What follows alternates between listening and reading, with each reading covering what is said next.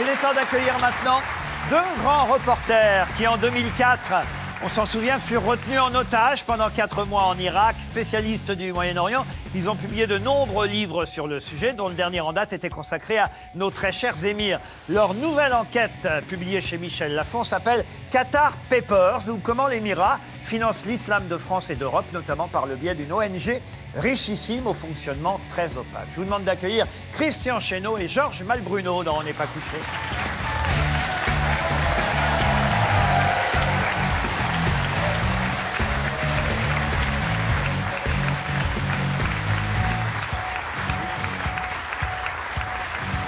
Bienvenue à l'un et à l'autre.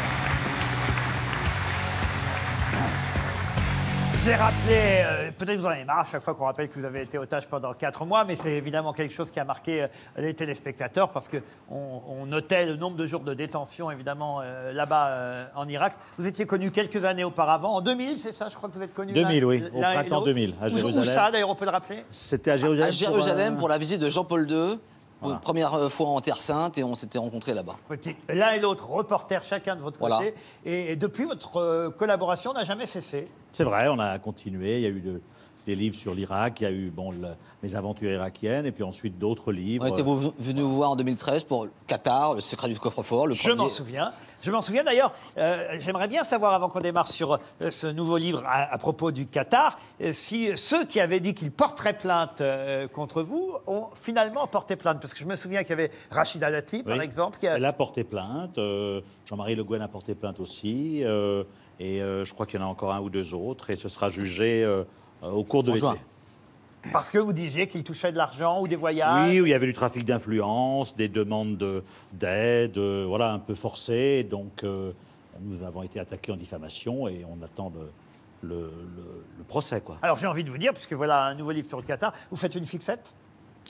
Non, on ne fait pas de fixette. C'est, le, le- là, pour le coup, c'est je dirais c'est un petit peu le hasard. Parce que, euh, comme on l'écrit euh, dans l'introduction euh, de ce livre, peu de temps après la publication de notre dernier bouquin, Notre très chers on a reçu euh, dans un courrier une clé USB qui contenait un grand, grand nombre de documents de cette ONG dont vous avez parlé, Qatar Charity, euh, des documents internes, euh, des courriers, des virements bancaires, des chèques. Et là, on a découvert effectivement un- une étendue de prosélytisme qui nous a stupéfaits. Alors, il faut dire que ce prosélytisme, ce- cette vaste opération, euh, j'allais dire européenne, mondiale, euh, Oui. euh, même, mais euh, intéressons-nous d'abord à l'Europe, ne concerne pas que la France. hein. Euh, vous dites qu'un pays comme l'Italie, par exemple, est peut-être même le premier visé par des projets euh, liés au Qatar, avant même la France, c'est vrai? L'Italie, euh, Christian y est allé, a enquêté, c'est le premier pays visé. Il y a 47 projets sur un total de 150. Et euh, donc, on peut se demander d'ailleurs pourquoi. Euh, il y a dans la, je dirais, dans la- un petit peu de certains prédicateurs euh, qui sont au Qatar, ce qu'on a appelé la, la promesse de Rome, c'est-à-dire reconquérir Rome, euh, capitale du Vatican, de la chrétienté, etc. Il y, a la, il y a la Sicile aussi, qui a été la porte d'entrée. Et c'est vrai qu'en Italie, il y a 47 projets. En Sicile, il y en a 11, où il y a des projets de, effectivement de changement de- d'église en mosquée. Et euh, effectivement, là, ça nous a stupéfait. La, la France arrive, on y viendra, en deuxième Voilà, position. 22 projets en France, ensuite il y a l'Espagne et la Grande-Bretagne, l'Allemagne aussi, il ne Oui. faut pas l'oublier, la Pologne, euh, l'Ukraine, la Suisse. La Suisse. Ça paraît toujours étonnant, mais la Suisse aussi.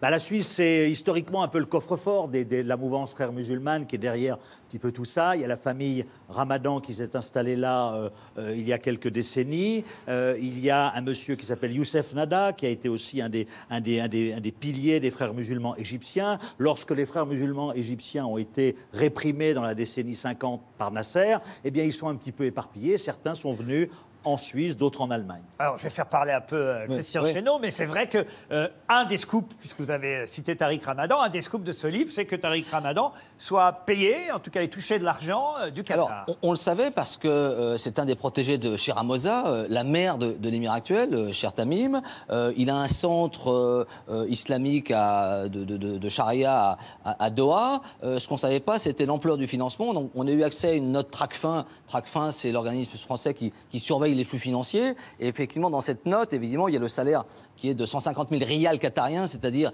35 000 euros mensuels. Et Évidemment, donc ça confirme euh, que Tariq Ramadan évolue euh, dans cet écosystème d'associations, euh, de personnalités, euh, d'organisations des frères musulmans ou néo-frères musulmans, et, et- et ils sont, j'allais dire, irrigués par l'argent du Qatar. Alors, qu'on comprenne bien, le but de ce livre, et vous aimez euh, le rappeler euh, vous-même, n'est pas de dire il ne faut pas construire des mosquées euh, Non. euh, en Au France. contraire, au contraire. C'est- de dire, c'est bien qu'on construise des mosquées pour euh, les musulmans euh, français, mais le problème, c'est l'islam qu'on va y enseigner, Voilà. évidemment. Notre livre, c'est une mise en garde contre l'influence de l'islam politique, parce que derrière ces, investissements qui sont faits par le Qatar et par l'ONG Qatar Charity, euh, il y a effectivement la volonté euh, de c'est pas nous qui le disons, c'est justement ces documents. Ce qui est très intéressant, c'est qu'il y a effectivement euh, ces montants, 140 millions d'euros en Europe, mais il y a surtout ces échanges confidentiels entre Qatar Charity et les bénéficiaires. Et donc on voit que, aux yeux de Qatar Charity, ce qui compte, c'est de renforcer l'identité islamique des communautés musulmanes d'Europe, c'est de renforcer la prédication, c'est de renforcer l'éducation de la jeunesse à travers notamment certains lycées. On, on a parlé du lycée Averroès à Lille. Donc voilà, donc il y a une volonté euh, de transporter cet islam politique qui est un petit peu l'ADN du Qatar, l'ADN de Tarek Ramadan et de, ses amis. Et donc c'est là où euh, cet islam politique rentre en conflit à notre sens, mais il n'y a pas que nous qui pensons ça, euh, avec l'idéal républicain qui est le nôtre, qui est foncièrement laïque. Et donc là, on dit attention, attention, parce que tout ce qui est fait d'ailleurs, c'est légal. hein. Les transferts bancaires de Qatar Charity via une banque à Mulhouse, etc., c'est légal. On n'est pas dans le financement du terrorisme, on y reviendra. On est dans le financement d'une idéologie qui peut dériver. Et elle a dérivé, on en reparlera sur Mulhouse et. Alors oui, d'ailleurs, elle en est où alors, cette mosquée à, à Mulhouse? Bah alors, cette mosquée de C'est là en ce Mulhouse... moment qu'elle devait être inaugurée. Elle, devait- elle doit être inaugurée le 6 mai au début du ramadan. C'est une immense mosquée euh, cathédrale hein, euh, qui euh, a nécessité à peu près 25 millions d'investissements, dont 14 ont été accordés par le Qatar. Et alors là, c'est typiquement justement l'exemple, c'est une mosquée centre de vie. Ça n'est pas simplement une mosquée où vous avez un centre de prière pour les hommes, un centre de prière pour les femmes, mais vous avez des salles de classe nombreuses à côté, vous avez des salles de conférence, vous avez un centre commercial, vous avez une piscine, un sauna et vous avez une morgue. C'est-à-dire, c'est la prise en charge de l'individu musulman de la naissance jusqu'à la mort, comme euh, le euh, requiert, comme le souhaite justement l'islam politique des frères musulmans. Alors, vous dites parfois que les maires euh, de certaines villes sont eux-mêmes dépassés, ne sont pas forcément au courant de ce qui Alors, se passe. ils sont dépassés. Ou ils ne veulent euh, pas savoir. Alors, c'est souvent. Ou certains utilisent Voilà, c'est la politique de l'autruche. C'est vrai que parfois, ils savent pas trop, les Turcs, les Saoudiens, les Qatariens, les Marocains. Il y a un peu un brouillard. Euh, souvent, ils ne veulent pas voir. Ou alors, parfois, il y a du clientélisme. C'est-à-dire que les musulmans, c'est aussi des électeurs.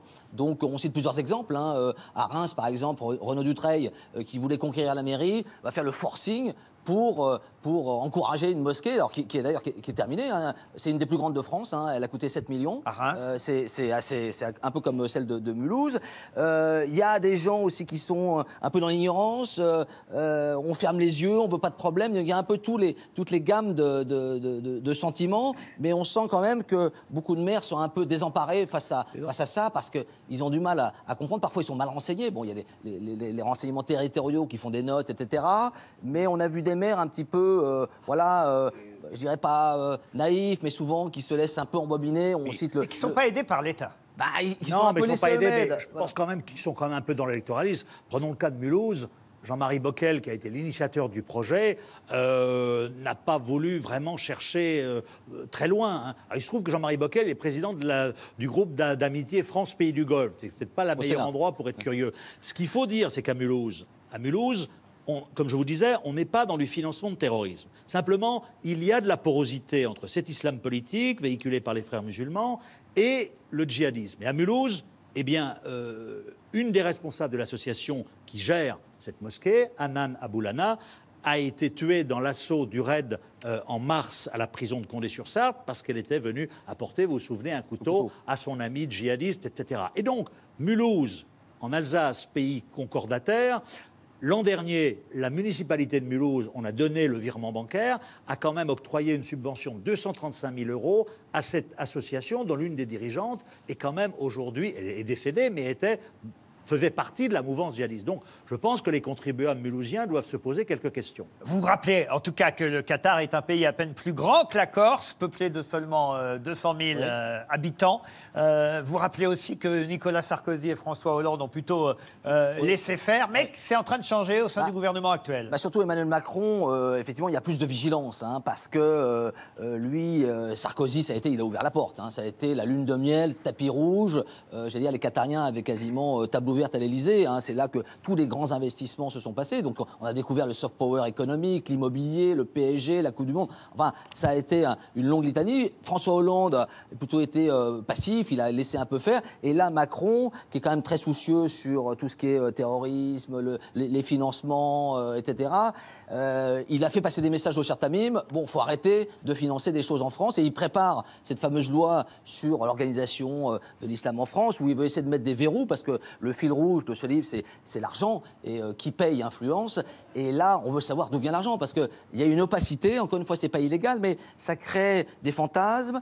Et euh, le, président et le, gouvernement voudraient une traçabilité. Et, on voit dans le livre que les, les chemins de cet argent sont assez tortueux. On passe par des, des- des SCI, des fonds de dotation, il y a des valises de liquide. On change il y a le nom de parfois, l'association. voilà, il y a- par, par exemple à Dessine. Angleterre, par exemple. Voilà, enfin, il y, a- il y a tout ça. Donc il y a quand même pas mal de, de flou autour de tout ça. Et l'idée, c'est de, de tracer et d'avoir un peu une transparence pour savoir qui finance quoi et que les gens soient au courant. Comment l'Émirat du Qatar finance l'islam de France et d'Europe? Ça vous a intéressé, euh, Christine Angot, d'abord? Ah oui, Bah oui.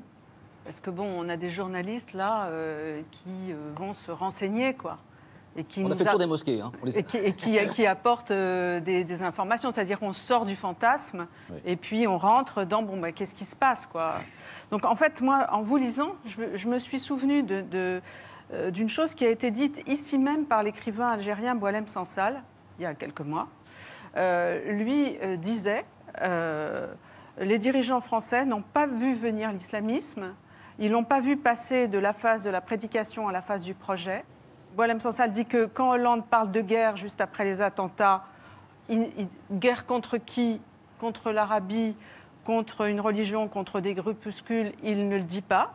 Donc lui, Boilem Sansal, il le dit. Lui, il dit, si guerre il y a, en tout cas, c'est contre ceux qui financent, ceux qui organisent, qui sensibilisent.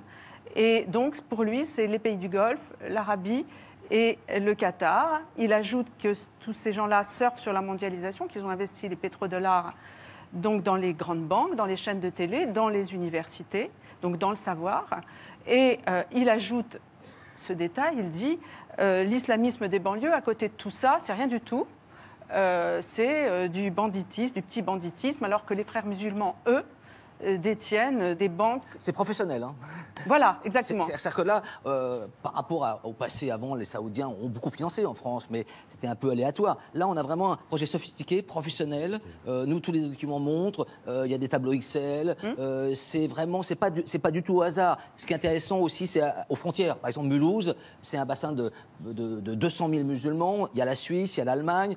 On- Il y a, des, il y a des, des projets à Lugano, au Luxembourg, à Jersey près des frontières, donc c'est vraiment, c'est Mais- pas du tout quelque chose de, comment dire, euh, oui, au hasard. hein. Voilà, donc j'aimerais moi vous poser une question, parce que tout ce- ce financement, tout, cette- tout cet argent, d'après vous, parce que vous, vous collectez toutes les informations, mais bon, j'imagine que vous ne le faites pas comme ça parce que vous n'avez rien à faire, c'est peut-être parce que ça vous aide à réfléchir à quelque chose. pas mal le Bon, donc, donc pour vous, quel est le but de ce financement Est-ce que c'est un financement islamiste? Est-ce qu'il peut être apparenté euh, à du terrorisme? Et est-ce qu'il est comparable finalement à celui des Américains quand ils ont financé euh, les talibans au début des années 80 pour faire barrage aux communistes? Alors, le but de l'État du Qatar, à travers Qatar Charity, qui est une organisation qui n'est pas indépendante évidemment, c'est euh, de peser, d'acheter de l'influence Oui.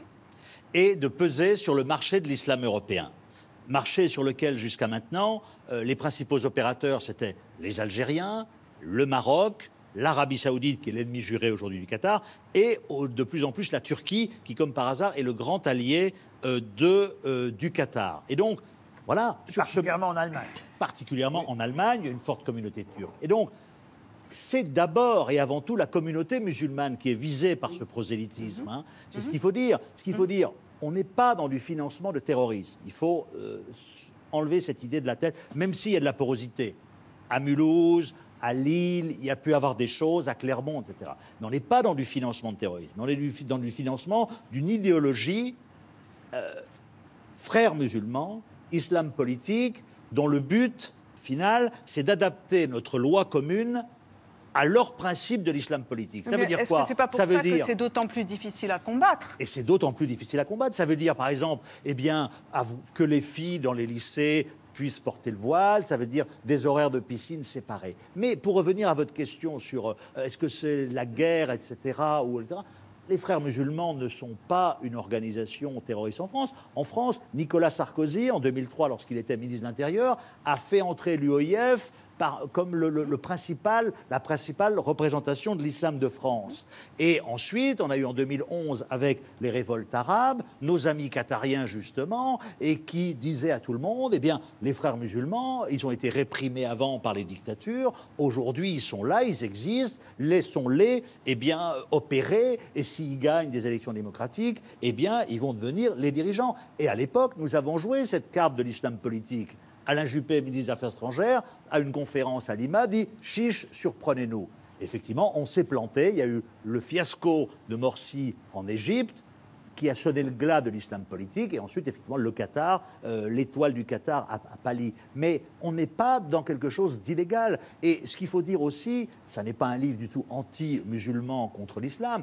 Il faut que les musulmans aient des lieux décents de prière, ce qui n'est pas le cas. On va à Mulhouse, on les voit, ils prient dans des garage. etc. Ouais, ouais. Donc, si vous voulez, ça va pas. Alors après, qu'est-ce qu'ils font? Ils nous disent, bah, nous, l'État français, en vertu de la loi de 1905, séparation de l'Église et de l'État, on ne peut pas avoir de l'argent. Qu'est-ce qu'on fait? Bah, On va en Arabie, on va au Qatar, on va, on va faire le Hajj et on revient avec une valise de 2 millions de dollars. Bon, maintenant, c'est un peu plus difficile parce que depuis le 11 septembre, les Mais contrôles... ça dépasse sévères. largement Donc, les mosquées en plus. Ça hein. C'est dépasse- aussi non. la connaissance. Parce Voilà. que si on parle des mosquées, en effet, là on est dans un problème purement religieux. Donc Exactement. ça c'est une chose. Mais après, il y a Mais ce qui est, tout- inté- ce qui est intéressant, de domaines de la vie. Ce qui est intéressant, Oui. il y a le culturel et le culturel. Voilà. Et ce qu'on Ah a oui. visité, et les centres financés par le, par le Qatar, c'est souvent, vous avez une mosquée, un centre culturel, une bibliothèque, des cours, etc. Donc on mélange tout ça. Mhm. Et donc il y a une confusion, euh, et ils jouent là-dessus. D'ailleurs, la, la majorité de, de- de ces mosquées, c'est la loi de 1901. Donc là, euh, c'est évidemment euh, très axé sur l'éducation, parce que euh, Hassan El-Banna, le fondateur des, des Frères musulmans, l'éducation, c'est fondamental. Éduquer les générations. Et là, dans les papiers qu'on qu'on publie, dans le, dans le bouquin, c'est réislamiser les, les musulmans pour qu'ils ils reprennent leur identité musulmane, les, les- les gens de la deuxième génération, et éventuellement faire du prosélytisme pour des convertis. Donc il y a tout ça qui est derrière. C'est pour ça que le lycée Averroès, le lycée Alors, El lycée Averroès, là, c'est à Lille. c'est à Lille. J'allais prendre cet exemple parce que euh, vous écrivez comment l'État français a-t-il pu laisser faire?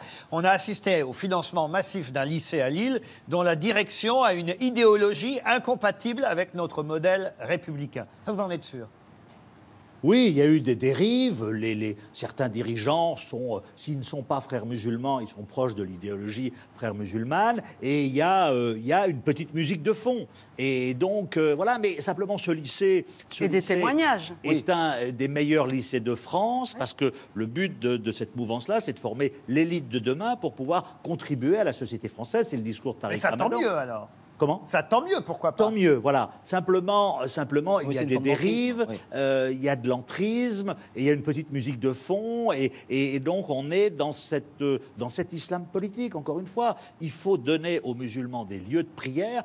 À côté de Lille, vous avez Villeneuve d'Ascq, Gérard Caudron, le maire de Villeneuve d'Ascq, lui, il dit Moi, j'ai laissé, mon prédécesseur euh, a laissé construire une mosquée.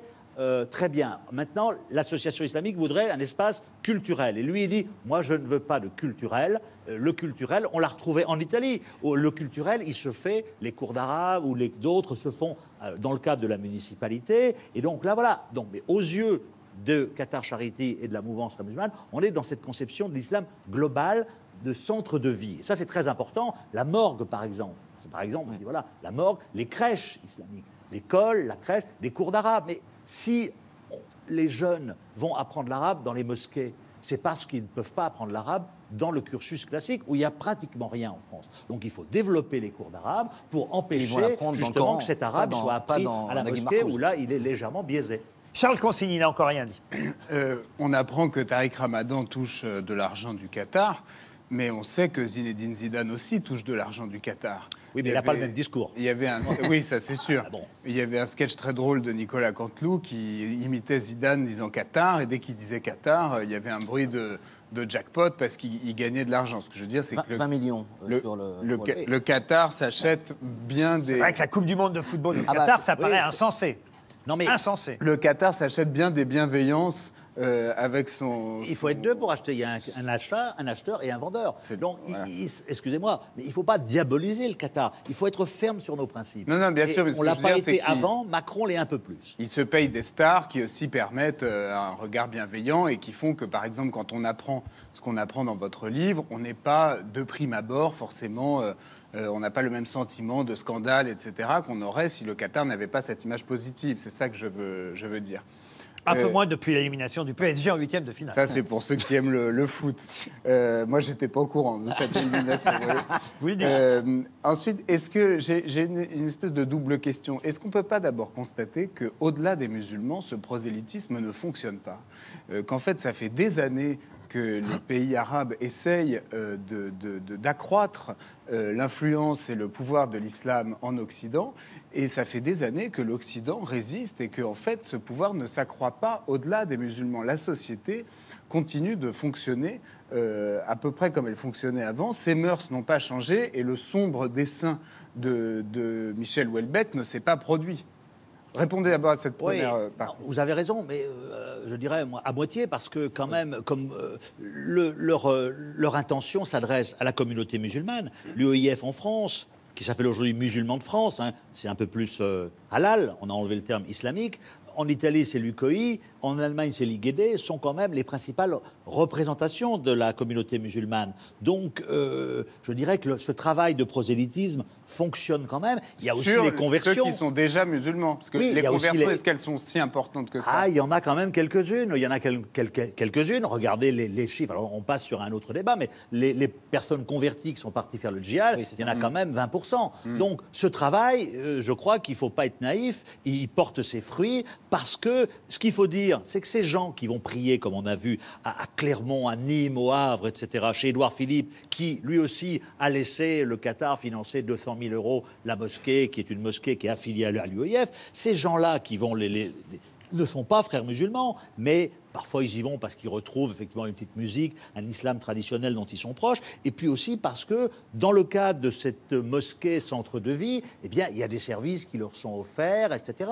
Et donc on est dans le, dans le marchandage, on est dans le marché de Ce l'islam. que craignent les maires aussi, c'est aux prochaines municipales des, des listes communautaires. Mais- Et, et- et c'est- et c'est vrai que moi j'ai été à Dessines, par exemple, à la banlieue de Lyon, euh, où on a créé un centre euh, donc euh, islamique, à- juste à côté du stade de l'OL, hein, le stade, le grand stade de Lyon. Euh, Et même un endroit pri- pour prier au sein du stade. Voilà, alors ça c'est autre chose. Voilà, c'est Jean-Michel Aulas qui a fait un centre de prière au- au- dans, dans le stade. Mais je veux dire, c'est euh, ce centre, euh, il commençait à faire, euh, j'allais dire, euh, des services sociaux euh, contre la mairie, et, et donc il y avait des, euh, une sorte de, de dérive. et que les- à, la mairie, ils étaient un peu inquiets parce qu'il y avait un, un développement, je veux dire, en parallèle. Et évidemment, on craint des, euh, enfin, ils, ils redoutent des, des listes communautaires et, euh, et imposer après les horaires de piscine, etc. Donc c'est vrai qu'il y a quand même une logique. Il faut quand même être vigilant dans le sens euh, euh, mettre des Alors là, vous avez raison, c'est qu'on est qu'aux prémices. Mais on voit comme ça, à Strasbourg, on révèle la volonté d'acheter un bâtiment qui servirait à une salle médicale.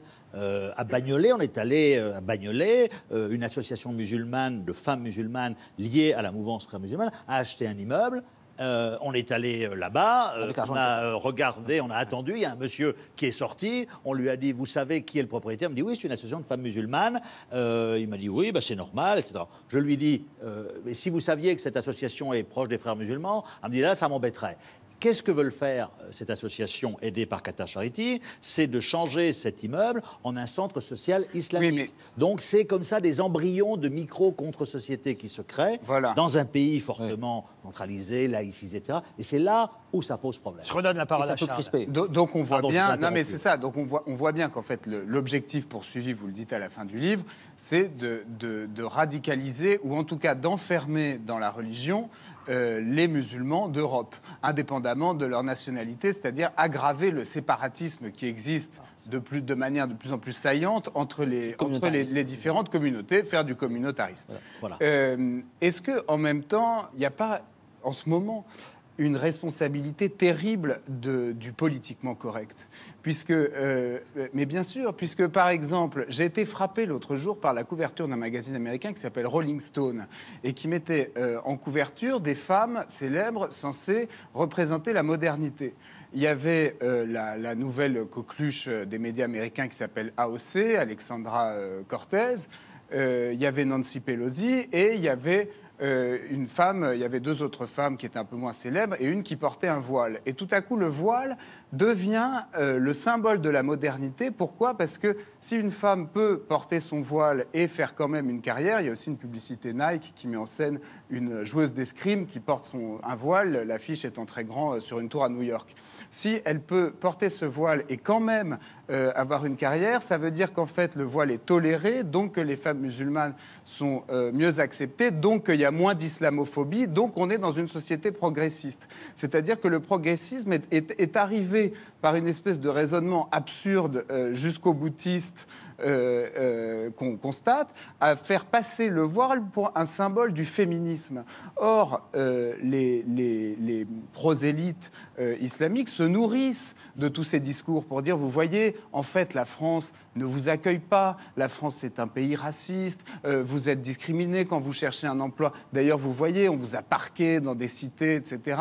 Ce pays ne veut pas de vous, ces beaux discours, etc. Oubliez-les.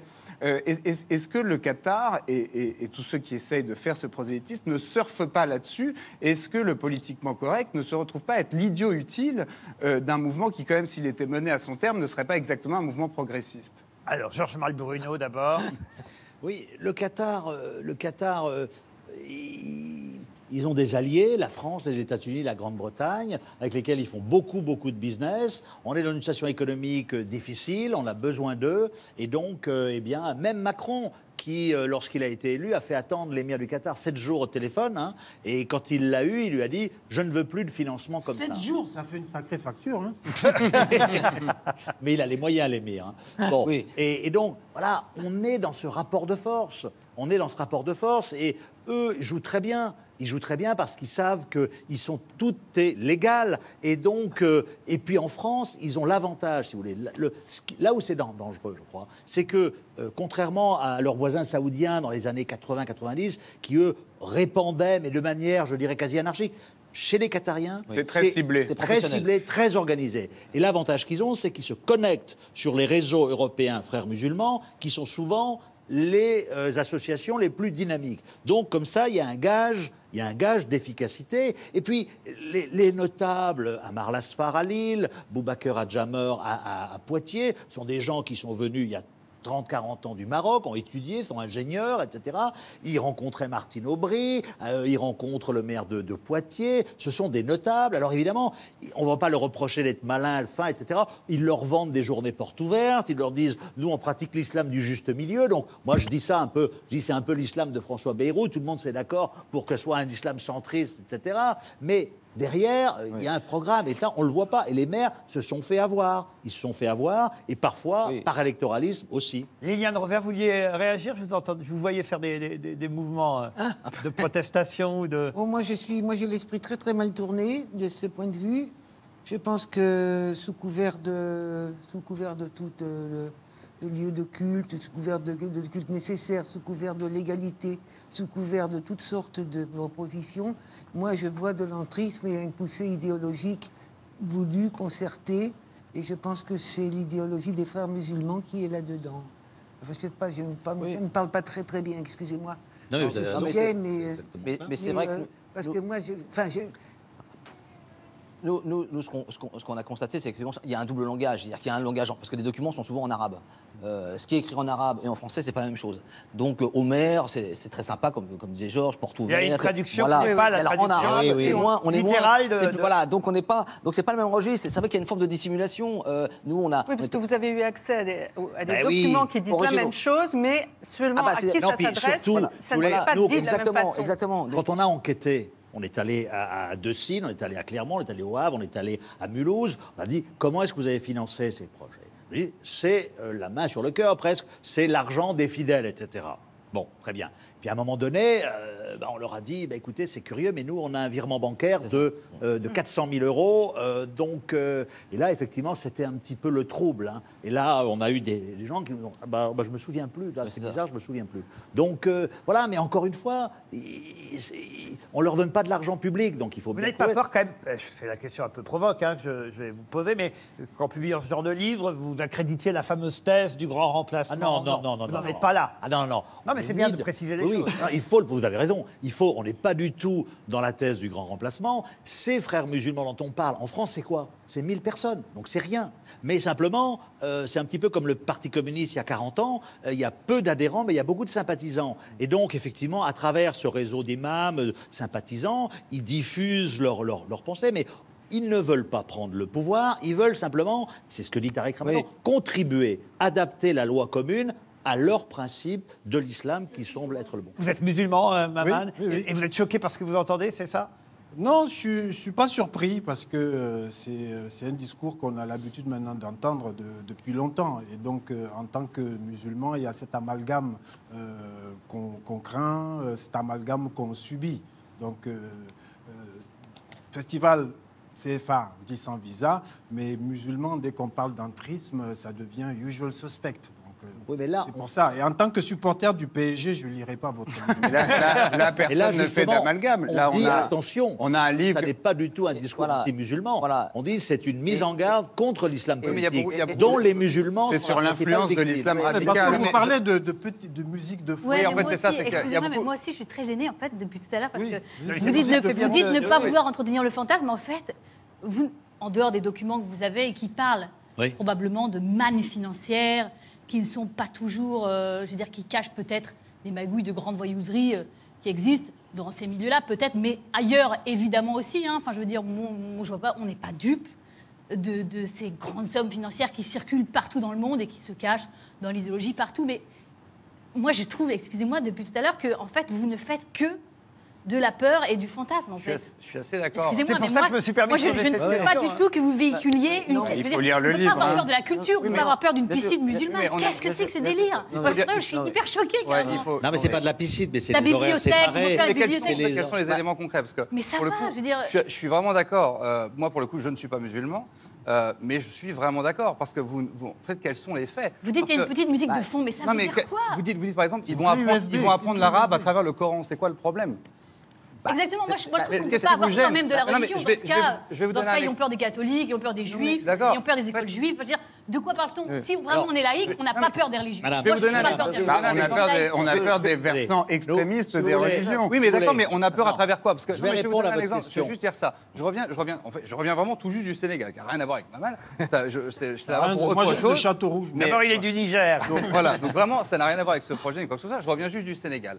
Et je suis allé voir euh, des ONG euh, qui parlent notamment des enfants errants et des enfants qui manquent d'éducation. Euh, J'ai été reçu par euh, des, Sénégalaises et des Français qui sont sur place, des bénévoles, qui souhaitent une seule chose, c'est que ces enfants soient dans des écoles où on leur apprenne l'arabe par le Coran.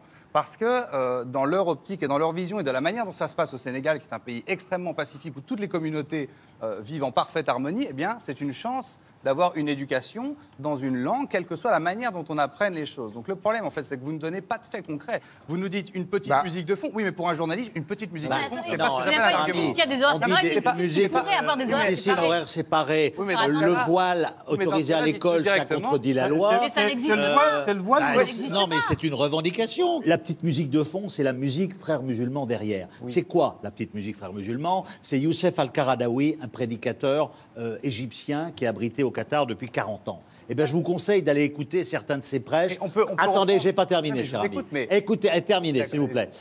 Regardez ce qu'il dit sur les homosexuels. Regardez ce qu'il dit sur, sur les juifs. Regardez ce qu'il dit sur les femmes. Oui, mais on parle pas de eh ça. bien, eh ben, si, si, c'est de ça, Non, cher ami. C'est de ça, cher Non, ami. non, non. Non, non, parce non, que là, non, vous non, prenez non, un non. groupe. Non, non, non. C'est de ça On vous demande, dans ce que vous ça ça dont dont on on parle parle, parce que dans les établissements qu'on a visités, on est allé voir les bibliothèques. dites-nous ça, alors. On est, eh ben, le les établissements On allé a- visiter on vu des bibliothèques. choses choquantes, On a dit tiens, là tu as oui, un livre, oui. tu as un livre de Sayed. Mais- Sayed Koutob, c'est un peu le théoricien, l'héritier du, djihad. Et lui, il théorisait mais- le djihad Oui. offensif défensif. Alors, dans quelle école vous avez. Donnez-nous des exemples. Eh ben, Bah, il vient de vous le dire. il y en a plein le livre. Vous l'avez lu le bouquin Mais non, mais c'est. Eh ben, alors, lisez-le, tous les gens qui sont là sont des gens qui n'ont pas lu le bouquin, vous venez de Oui. vendre. Non, mais, Donc, euh, par définition, vendez-le avec des vrais arguments. Et les vrais arguments, ils sont dans le bouquin. Je suis pas en train de vous dire que vous mais- mentez, je vous Non, demande non, de donner exemples. pour, le coup, Non, mais c'est-à-dire que. pour le en coup, on fait- a des faits incontestables. à mon avis, vous, vous faites tellement attention parce que c'est un terrain tellement miné qu'en effet, quand vous parlez de petite musique de, de fond. Voilà, c'est une- Non, mais regardez, quand vous parlez de petite musique de fond, ça peut en effet euh, choquer certains parce que mais c'est quoi cette musique de fond? Mais en même temps, on se dit, mais musique de fond, mais pourquoi il ne parle que de musique de fond? Parce qu'on peut aussi écouter ce que dit euh, la personne, euh, le, le- le professeur de philosophie qui a dé- démissionné du lycée Averroès, que, que À je, peux, que je Voilà. peux citer. Ça, c'est une première chose que je peux faire tout à l'heure.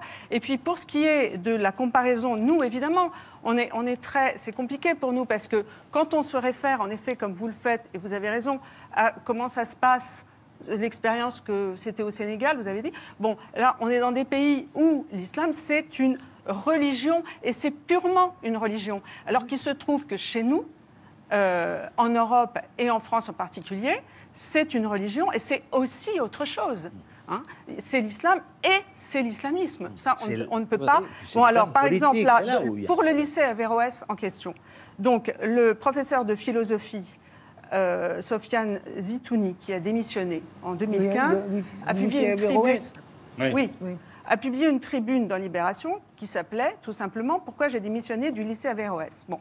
Et là, ce n'est pas une petite musique de fond, justement, lui, ce qu'il dit. Et je pense qu'il faut être très clair. Parce que vous, vous êtes journaliste, alors forcément, vous y allez, vous donnez des documents, mais en même temps, vous ne vous engagez pas trop sur la conclusion parce que vous êtes journaliste, donc vous restez un peu en On retrait. s'engage, mais modérément, parce que tout n'est pas Modérément. pas Ben oui, mais quand on reste comme ça, du coup, vous ne donnez pas vraiment les exemples et du coup, il y a une, il y a une confusion. Bah, notamment- Il y a une confusion. Et donc, alors que ce, type-là qui est allé, qui a enseigné, qui a démissionné, qui a écrit pourquoi il a démissionné, qu'est-ce qu'il dit? Lui, il dit pas il y a une musique de fond, Lisa Averroès. Lui, il dit c'est un territoire musulman dans lequel était diffusée de manière sournoise et pernicieuse une conception de l'islam qui n'est autre que l'islamisme.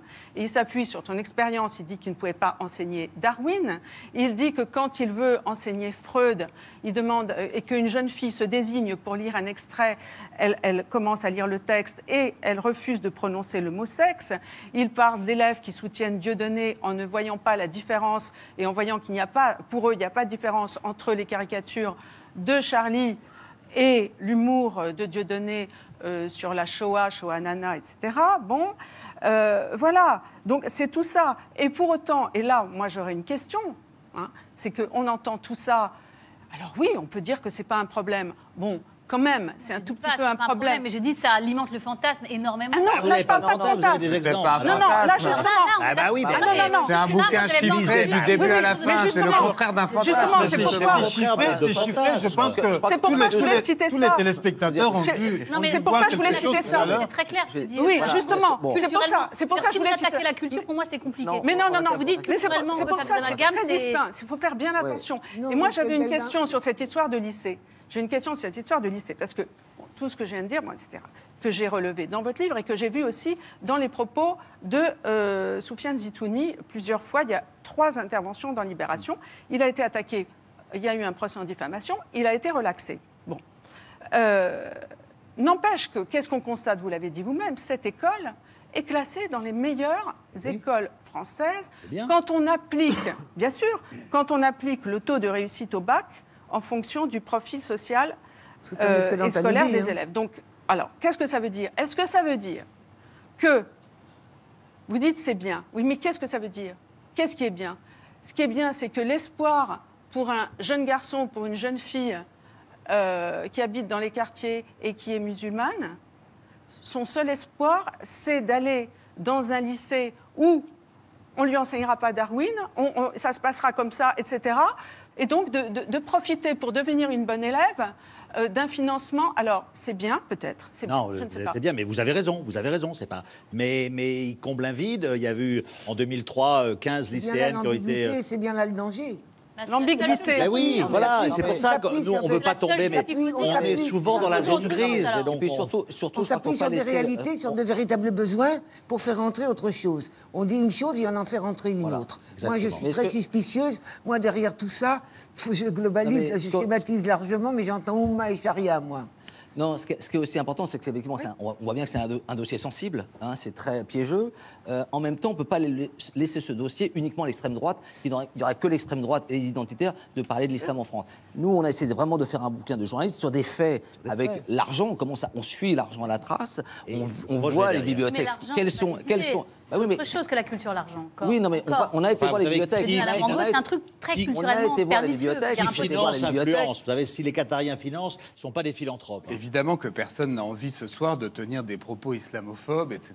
Et je pense que c'est pas du tout le, Ah, c'est pas du tout le, le- le projet. Moi- Vous savez, vous savez, vous moi, savez sur l'Afrique. Non, mais enfin, il y a tout à coup. Il y hein. tout à coup une espèce de... du Niger. Le Niger, on est encerclé. Il y a Oui. Boko Haram, il y a ACMI au Mali, il y a le, en haut le- la Libye, euh, l'Algérie, Oui. le Tchad à l'ouest. Le, le Nigérien est encerclé. Donc, si je vous parle de ça, Oui. ne pensez pas que la France est la seule euh, Bien sûr, attaquée parce que par oui, les mais islamistes. Islamistes font Ouais. plus de victimes euh, en Afrique Oui, que- oui. que- qu'en ça, Europe. oui, mais ça, c'est On le dit régulièrement. Voilà, La donc c'est France, quelque chose. Les premières victimes, ce sont les musulmans Ce sont les pacifistes. musulmans pacifistes eux-mêmes. Donc c'est quelque chose qu'on a. Mais, Oui, mais ça c'est pas pour autant, le- le retour. c'est pas pour autant qu'il faut arrêter de, de Voilà. montrer et, Et d'accuser, désigner et ceux puis- qui justement veulent que on est Ils dans. jouent avec le feu quand même. hein. Pardon. Ils jouent un peu avec le feu quand même. On joue sur, ça, sur voilà. des braises un petit peu, on souffle un peu. Euh, excusez-moi, mais je crois vraiment que vous ne, devez pas avoir peur en fait de donner des exemples. Les gens ne sont pas bêtes. Bien Bon, sûr. J'ai entendu votre argument tout à l'heure de dire oui, mais on a peur. Enfin, vous Oh n'avez là, pas dit ça comme ça, pas mais peur. non, non, non. Nos exemples sont dans le livre. On va pas venir avec le livre Vous avez vous parlé d'extrême droite, etc. Parce que, parce, mais j'entends ça, j'entends que quand on a la télévision, a un on dit- prudent. Voilà, on est prudent. Mais oui. du coup, Bah, c'est ça oui. qu'on- ça qu'on essaie de vous dire tout à l'heure. On vous accuse pas de mensonge, loin de là. Ah non, c'est Simplement, donnez-nous des vrais faits parce que le discours sans faits, Oui, ça, sinon, ça fait qu'une rumeur. Et n'ayez Oui, mais- pas peur, je crois, des gens. Les gens ne sont pas bêtes. Je vous Mais il y assure, en- si il y vous en a donnez dans des le exemples, livre, les gens hein. Il y en a vous dans le livre. Il y en a c'est- dans le c'est- Mais il y a des- on en a des- donné depuis le début des exemples. oui, Lille, oui, euh, et ailleurs. Il y, a, les il y a suivre. des, il y a des faits objectifs, pardon, mais quand il y a eu les attentats à Charlie Hebdo, après, il y a eu euh, la volonté de faire une minute de silence dans toute la France. Et euh, on sait qu'il y a eu dans des dizaines et des dizaines d'établissements scolaires en France une espèce de refus euh, de faire la minute de silence de la part des collégiens et des lycéens.